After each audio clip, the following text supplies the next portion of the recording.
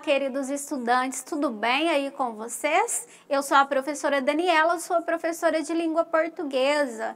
E hoje, aqui no nosso Prepara Goiás, esse momento aí tão importante, né, de auxílio, de incentivo a vocês para a prova do Enem, nós temos uma segunda dica, tão valiosa quanto as outras. Então vamos aí na tela, por favor. Observa que nós temos palavras que mudam sentido de questão. Na dica 2, temos o seguinte: atente-se à presença de palavras que mudam a rota da questão.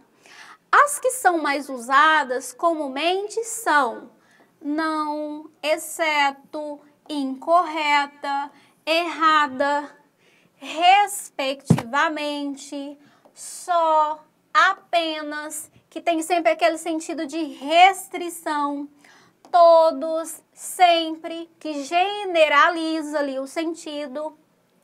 A presença delas dentro de um comando de questão ou até mesmo de uma das alternativas pode mudar todo o sentido daquilo que deverá ser analisado por você.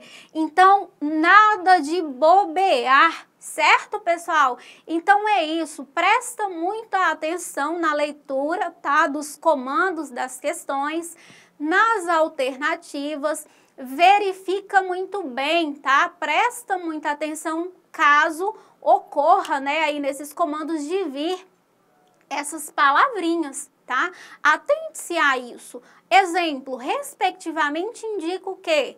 Quando você for analisar ali as alternativas, a resposta deve vir na ordem indicada nesse comando, certo?